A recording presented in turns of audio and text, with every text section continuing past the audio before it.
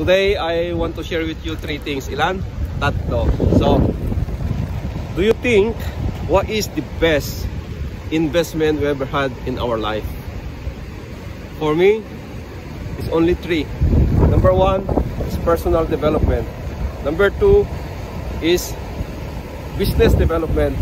And number three, of course, is real estate investment. So, tatlo lang yon. Three big factors to grow even further and to achieve our big dreams even quicker and faster. So always invest on personal development, always grow, always learning something new every time. So always invest in ourselves. Second, invest on personal development, uh, business development. If you want to grow quicker in our business, we always want to learn everything possible to fast track our in terms of business and of course real estate. Lastly, real estate most important thing for us to achieve a passive income for life.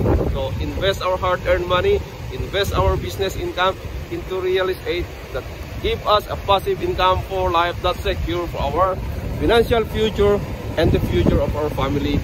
So we created a legacy for life. So okay, that's all for now. Just be calm, stay humble, and never give up on your dreams. Bye!